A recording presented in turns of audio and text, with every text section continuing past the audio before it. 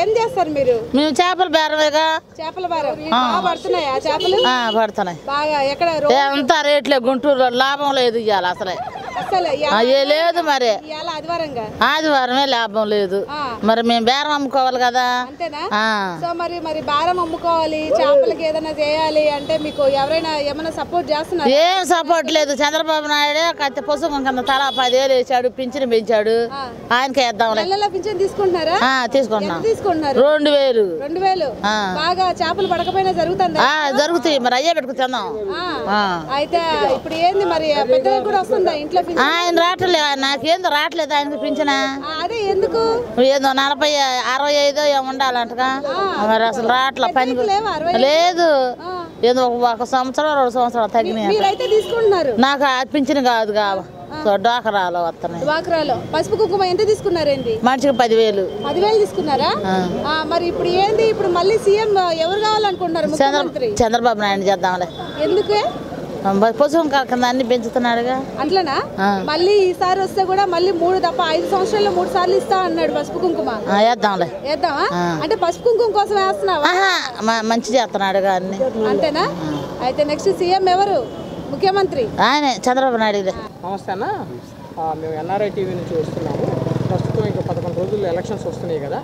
ఆంధ్ర రాష్ట్రంలో ఏ గవర్నమెంట్ వస్తే బాగుండిద్ది అనుకుంటున్నారు అనేది ఒక ప్రజాభిప్రాయ సేకరణ. మీకు ఏ పార్టీ వస్తే బాగుండిద్ది అనుకుంటున్నారు? అంటే ప్రస్తుతం ఇప్పుడున్న పొజిషన్ బట్టి ఎక్కువ శాతం వైఎస్ఆర్ పార్టీనే ఎక్కువ జనాలు చేస్తున్నారు.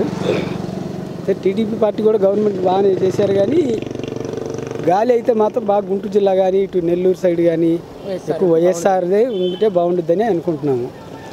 మీకు పవన్ పవన్ కళ్యాణ్ ఏం చేయడం అనుకుంటున్నారా? పవన్ కళ్యాణ్ అయితే అతనిది అంత బలం ఏం లేదు. పూర్తిగా జగన్ గారు వస్తేనే మంచి బాగుంటుంది అనేది ఆలోచిస్తున్నాం. అందరి అభిప్రాయాలు అటానే ఉంటాయి అమ్మా నమస్తే. మీ పేరేందమ్మా? రమణమ్మ గారు ఏం చేస్తుంటారు? చేపల ఆ, బాగా జరుగుతుందండి వ్యాపారం? అమ్మా ఇప్పుడు ఎన్నికలు జరుగుతున్నాయి కదా? నెక్స్ట్ ముఖ్యమంత్రిగా వస్తే ఎవరు బాగుంటారు మీకు? మాకు చంద్రబాబు నాయుడు సాయం చేశాడు ఆయన ఎత్తేనే బాగుంటుంది ఏమమ్మా ఏం సాయం చేశారు?